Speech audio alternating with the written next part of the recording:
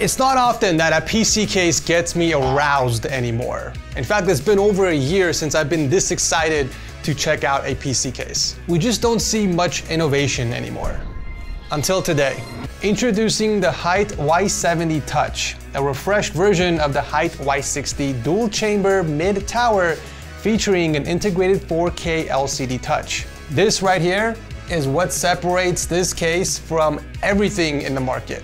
It's not just a regular monitor. It's a capacitive touchscreen that actually adds functionality to your setup, and I'll talk more about that later in this video, as well as a potential problem that I discovered while building in this case. So you just finished building a PC and you're greeted with this horrendous message on your screen. Well, fear not, because I have an easy solution for you guys. Head on over to yourcdkey.com and pick up a Windows 11 or Windows 10 Pro CD key for around 15 bucks. Just put in the code TS20 to get that extra 20% off, and afterwards they will email you the CD key, and all you have to do is go into your activation settings on Windows and put it in.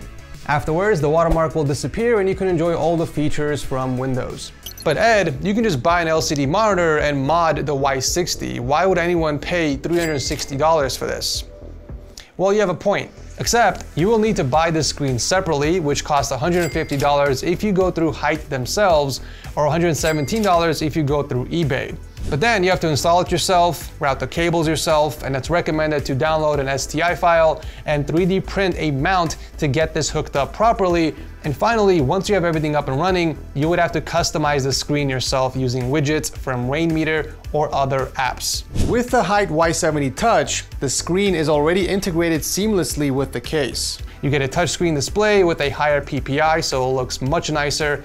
And more importantly, you get access to Hyte Nexus an all-in-one app designed and optimized to work with the monitor, giving you tons of widgets and customizable options. It's also worth mentioning this is a larger case, a 70.7 liter case as opposed to 60 liters from the Hyte Y60, and this translates to more space inside. For example, you can now install up to a 360mm radiator on the side, the rear now supports a 140mm fan, and you get more clearance for the top for thicker radiators, in addition to just more room for your other components, allowing you to install even the most beefiest GPUs. The only thing they didn't bring over from the Y60 are the three pre-installed fans. So you no longer get the two intake fans in the bottom and the one intake fan in the back, which means you're gonna have to BYOF. Everything else is pretty much identical. You get the same pattern design as before, the same snap-off panels, two removable hard drive cages in the back, and the vent style grommets. I do like the addition of the cable tie downs on the bottom of the case. I think this will come in handy for the power supply cables. The bottom filter snaps off, allowing for easy cleaning, and removing the bottom three thumb screws releases the bracket, allowing you to install up to two 140 millimeter fans as intake, which is highly recommended if you're going with this case. The case comes in four different flavors. The one I have here is the Snow Edition, which comes in this Arctic white color scheme, so be mindful on selecting your other components to make sure you're not mixing the For example, this white AIO from Deepcool is more of a milky off-white and as a result, it sticks out quite a bit compared to something like the Lian Li AIO that uses a snow white colorway. Installation is pretty straightforward, just like the Y60. I had to remove the PCI riser canopy to install the motherboard. Then I removed the top bracket to help me install the 360 AIO since I was going for exhaust on the top. The Deepcool power supply goes in the back of the chamber with tons of space to hide the cables. Then it was time to hook up three more fans on the side just to occupy the empty space before finally popping in the graphics card.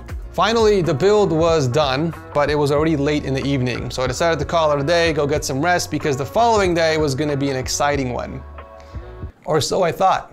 I stepped into the office and my heart immediately dropped as soon as I saw this the touchscreen somehow managed to peel itself off the corner piece of the case and it was barely hanging on by dear life. But it gets worse. One of the connectors broke off due to the weight of the monitor and I caught it just in time before it completely ripped off. I soon discovered that the screen was attached to the bracket using only one piece of thin, double-sided adhesive on the top and bottom. And over time, I guess it just peeled off due to the heat in the office. When I'm not in this office, the AC is turned off and this room gets pretty hot, guys, up to like 85 degrees Celsius, especially now in California. So if I had to guess, This case wasn't tested in warm environments, which is understandable. Like what sane person would even be in a room with 85 degrees Fahrenheit or 27 degrees Celsius? That's just not comfortable. So I don't think Hyte is to blame here. There's also the possibility that this might be the only case that was sent out to the YouTubers that has this issue, and I'm just very unlucky. I mean, there's a lot of factors to consider, especially being an early sample. But I do want to read the response that Hyte gave me when I did bring this up to their attention. The early samples are partially hand-built, and that could be the reason why the tape didn't hold. All production versions will be mechanically pressed to mount the glass, so no one should experience this. Either way, I'm just glad that Hyte sent over a new monitor shortly after so that I can finish up the build. While gaming, the temp stayed relatively cool with the GPU peaking at 64 degrees Celsius and the CPU hit 66 Celsius for a brief second. These temps would be slightly cooler if I flipped the three side fans as intake, but I wanted to showcase how great the temps are even with the least optimal fan configuration. Okay, now let's talk about the screen because this is the main selling point of the Hyte Y70 Touch. I mean, it's called the Y70 Touch for a reason. I mean, sure, the case is a lot bigger than before, you got more clearance for bigger components, but make no mistake, the centerpiece is the 14.1 inch 4K display.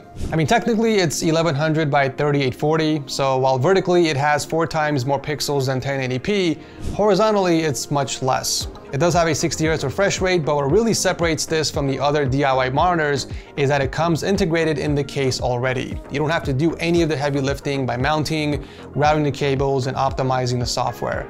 Hyte makes it all easy with the Nexus Touch. Now before we get into all the cool things you can do with the monitor, let's talk about the setup process. If you take a look in the back, you can see a display port on the bottom.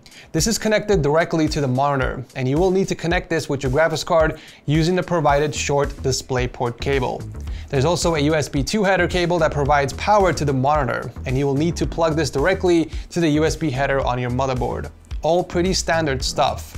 It is a second monitor after all, so these are expected. On one end, it's nice that Hyte decided to use the USB header on the motherboard to supply power instead of the USB port in the back of the motherboard, which I think looks a lot nicer. But on the other end, it's using up one of the very few USB headers that you have available on your motherboard, which I'm sure most of us gamers can agree, sometimes it's just not enough. Most budget and mid-range boards only offer one or two at most, leaving us unable to connect some of our other components. Fan hubs, AIO pumps, and RGB accessories all use up a USB 2 header on the board. So if you plan on using two or more with this case, you're not gonna have any left for the monitor. But luckily they do sell USB splitters for cheap on Amazon. I'll drop a link to the same one I used with this build down below if anyone is interested in picking one up. Okay, back to the monitor. So after downloading and installing Nexus Touch, it will take you straight to the main menu. Over here you can view a bunch of information at a glance. Best way to describe this screen is to compare it to an iPhone. You know when you're on your iPhone and then you swipe to the left from the home page? It's the same concept here. And when you swipe left on the actual monitor, it will take you to the same screen. So basically whatever you have here on the home page will reflect on the actual monitor. It's just an overview of some of the widgets that you can customize here on the home screen and it's very limited right now because obviously we're still in beta. If you click here on add widget, you can kind of see that there aren't that many options available right now. The Faces app is where it all goes down. This is what is going to unlock the full potential of the touch display. So we're gonna go over all the features one by one, buckle up, and let's dive right in. So the media widget is pretty self-explanatory. This will show you a preview of your current media player and it will give you access to some shortcuts like pausing, skipping, and playing your music. Widget sizes are available in 1x1, 4x2, and 4x4, but not all widgets have access to these sizes, which you guys will see very soon. It's always recommended to pick the appropriate size to make sure that you have room for your other widgets on the same screen. So for example, Spotify, I don't need 4x4 size. It takes up way too much space without providing any additional info. The 4x2 is plenty enough because I still get to see the album cover and I get access to the shortcuts while giving me extra space for one more widget on the same screen. You also have the option of enabling audio reactive, so the player will kind of react to the music that's playing currently. Now there are a few ways you can interact with a touch display. The first most common way is by pressing and holding onto the widget on the actual touch screen. So if I press and hold on the media player, it will open up in full screen. There are a lot of widgets on here that don't really take advantage or add anything useful in the full screen mode, but there are a handful of widgets in here that do, and you guys will see what I'm talking about. And to exit this, you simply just swipe up from the bottom. Okay, the next widget is gonna be Twitch chat, which I think is gonna be very popular with this case, especially for people who stream a lot and people who watch streams a lot. It's only available in 4x4, which will make a lot of sense soon. Um, and if you want to add this widget to the display, you have to first navigate to the screen you want to add to. So let's go and find an empty page, and then you simply just hit add. You can only edit a widget after you add it to the monitor. So after you hit add, it will take you to a second screen, which will give you more options on customizing. Now over here, we only have the option of entering a Twitch username. So I'm gonna put in my idol Pokimane, and then I'm gonna hit save. Immediately, it's going to update in real time and show me Pokimane's chat in real time. Unfortunately, she's not streaming right now, so let's go ahead and follow someone else right now. Let's do Summit 1G, is usually active.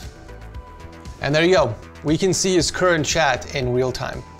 We can actually add another Twitch widget if you want. We can add as many as you want of the same widget as long as you have the space for it. So I'm gonna go back here, add a different person. I think XQC is streaming right now.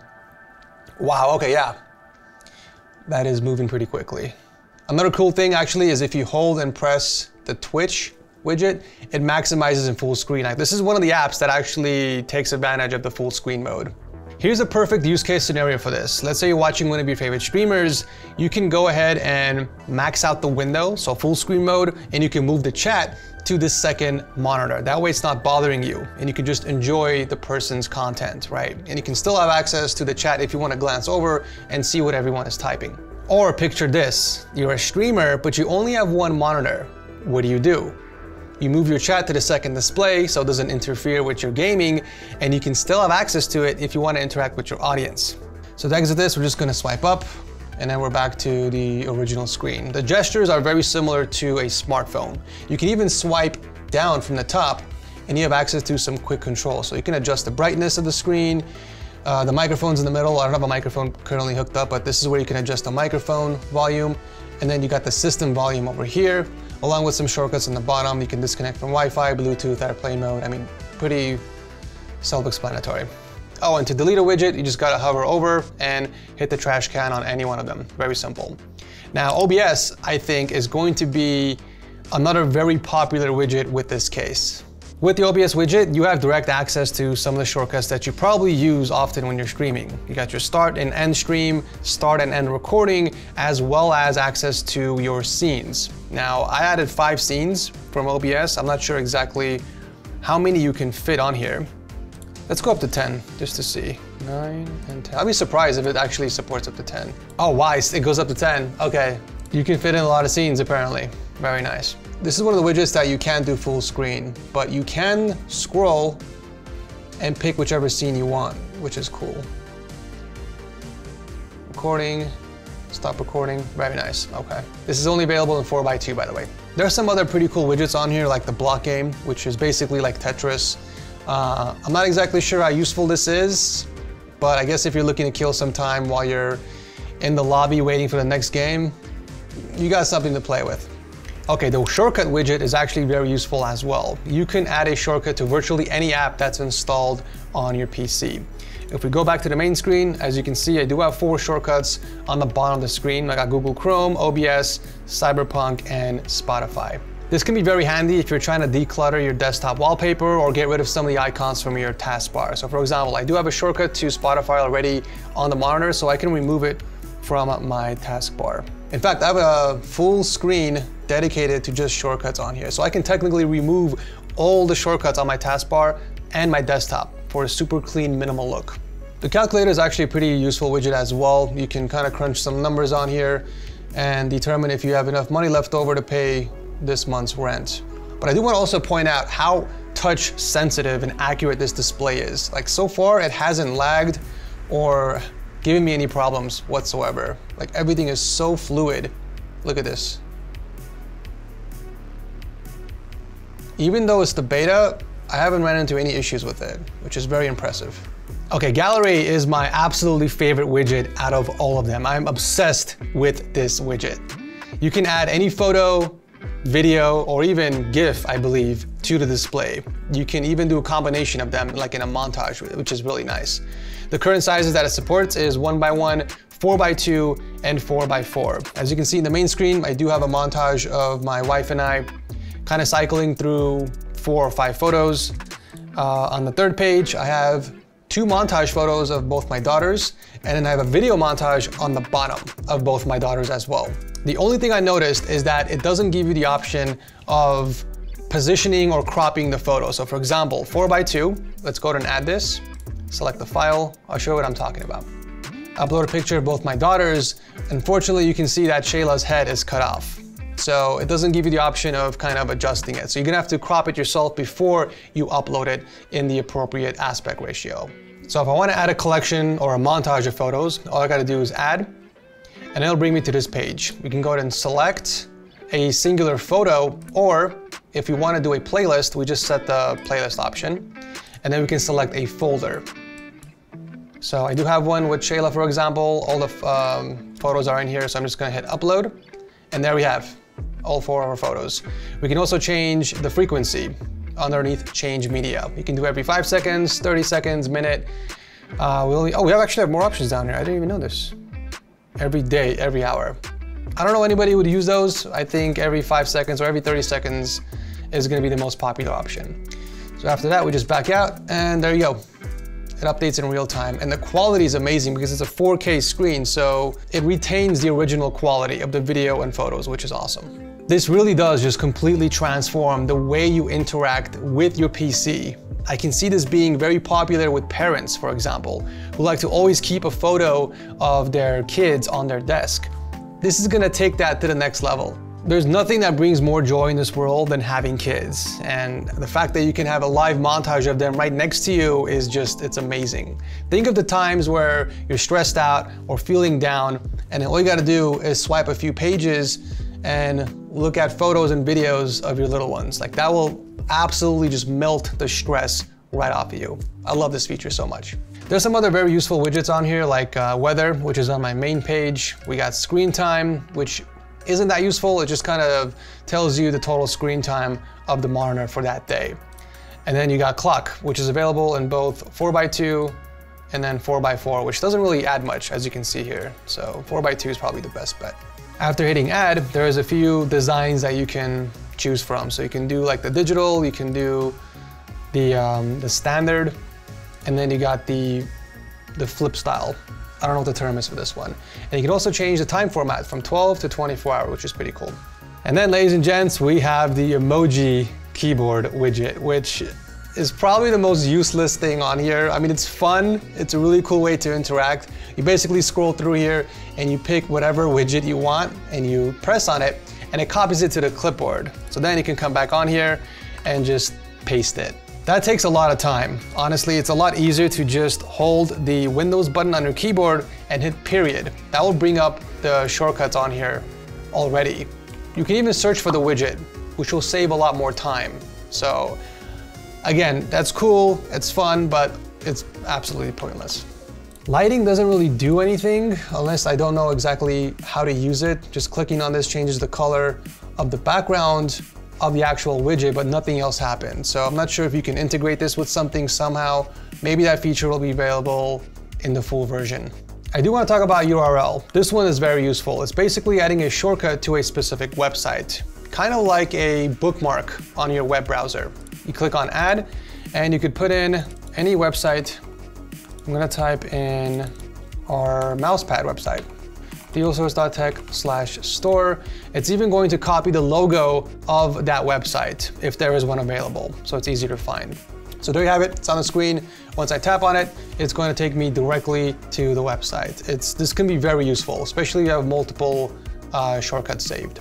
And finally, we got the performance widget, which is going to be the most used widget because this will transform your monitor into a custom sensor panel. Only this time, you have complete control over how you want to customize it. So the widget is available in 4x2 and 4x4, just depends on how much information you want displayed and how much space you want to use up. So we're gonna go with the 4x4 option and we're gonna click add.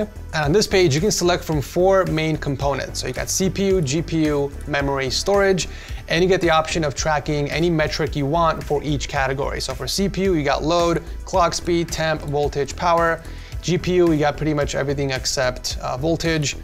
Memory is only usage, and then for storage, you get only temp and usage. But the cool thing about this is that you actually have the option of selecting from six different designs. So for example, in the first box, let's say I wanna track my CPU's load percentage. I'm gonna click on the box itself, click on CPU, and then we'll keep it on load. Now for the design, I like the Caterpillar design, so I'll go with that option. And then moving on to the second box, let's track the GPU clock speed just to change it up. We'll keep it the same design just so it's cohesive. So we'll stick with Caterpillar. And then moving on to the bottom, let's do memory usage. But let's change this one up. Let's do, I don't know, radiate, for example. And then for last box, we can do storage and we don't need to do temps. Let's do usage, for example. But let's also do radiate just so it's more consistent. And there you have it. Just finished my sensor panel on the monitor. I don't know if they're gonna be adding more features or more designs to choose from. I think it'll be awesome if they do, but um, we're just gonna have to wait and see. There's also some options on the bottom here that you can do. This is mostly for read-only text. So let's say if you wanna do, I don't know, CPU voltage for this one. The middle one, we can do GPU power. And then the third one, we can do, I don't know, clock speed, I guess. Now, if you touch and hold the sensor panel on the monitor, it goes into full screen mode. And if you wanna customize that, you click on the arrow on the software and you have access to even more areas of the sensor panel. So on the bottom here, you can add like, I don't know, CPU voltage. There aren't that many options to choose from right now. Like I said, if they do add more tracking options, it'll be cool. But again, the point I'm trying to make here is it's a lot easier to make a sensor panel instead of downloading AIDA64 like we used to in the past and then custom making our own from scratch. So that's cool. Now there is one feature I would love to see on Faces and we do not have access to it right now in the beta. So if uh, Hyte is watching this video and they're listening, please give us an option to move or relocate our widgets. We don't have that option right now. The only thing we can do is edit or delete. So let's say I wanna move the performance widget to the top. The only way to do that is by deleting the other widgets and then having that move up automatically. And then you have to go back and basically re-add those widgets that got deleted. Obviously, I know this is just the beta, so maybe that feature will happen on the full version. And finally, let's talk about personalize, which I also think is gonna be very popular with this case. People love to customize, people love to match color schemes, so you can do that with the screen. So if you go and click on theme, it will take you to this screen where you can select from a variety of wallpapers, or video wallpapers, I guess. So the first one is kind of like a black and white topo. We got this kind of um, retro tunnel with RGB lights. We got space, underwater with some fish. I don't know what this is, kind of like a hippie flower, I think. I think Hyte should definitely replace this one with a higher resolution because this one doesn't look that great. And then we got liquid metal or liquid something. This is my second favorite video wallpaper. Looks pretty cool. This is currently my favorite, the Vortex Tunnel, Hyperspace, whatever you want to call it. And then we got two uh, wallpapers for the white theme PCs. So I think this one looks really nice with the snow case. And last but not least, we got a pretty cool transformer looking one. And if none of this floats your boat, you can upload your very own custom media. So we're gonna click on pick a file. Uh, I don't have a video wallpaper on hand, so I'm just gonna pick on something that I already have saved. And there you go. You have complete freedom on whatever video you want to upload as a background. It could be video or photo, actually.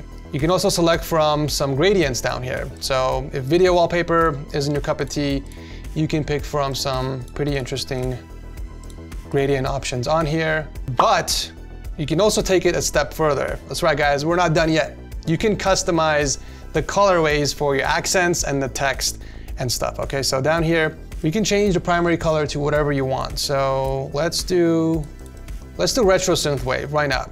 So primary color, yeah, let's do pink. Accent color, let's do like a teal. And then text, I always like to go with white so it's easier to read. So if you go back to Twitch, there it is. You can also adjust the transparency. You can go completely solid, which I do not recommend, or you can go very opaque, almost transparent, 10% opaque. And you can do this with any of the media as well. So you can pick any one of these wallpapers up here, scroll down, and customize it to whatever you want. So if you have a very specific color scheme in your build, you can adjust the colors so that matches your color scheme.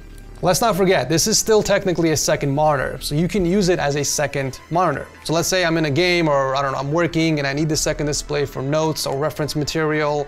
Well, you can do that. I'm gonna grab the script for this entire video and move it over to the screen and there you have it. Now I have notes or reference material while I'm filming this video.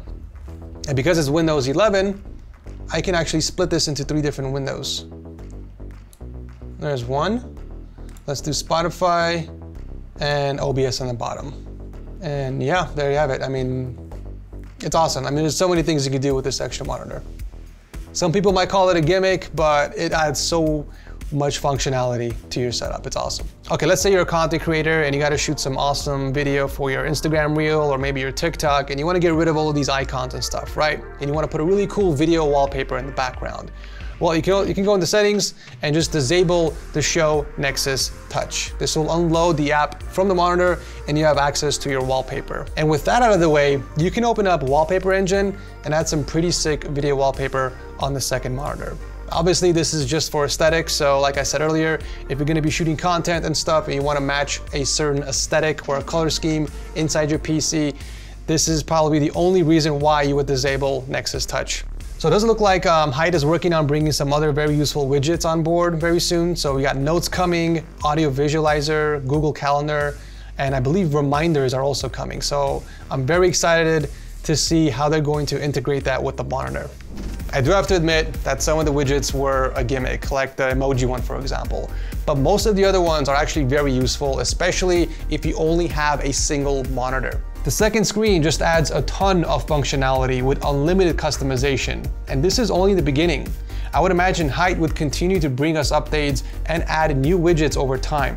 $360 is a lot of money, I'm not gonna lie guys. But considering that this is the only case in the world currently that can do this and offer this level of customization in a user-friendly integrated app, I think the price is justified. I'll drop a link to the case down below if you guys want to get your hands on one. Thank you so much for watching and I'll see you very soon in the next one.